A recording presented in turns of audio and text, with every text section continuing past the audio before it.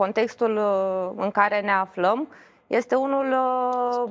absolut nou pentru țara noastră și această noutate rezidă din faptul că avem în față peste 100 de miliarde de euro pe care România va trebui să-i uh, investească până în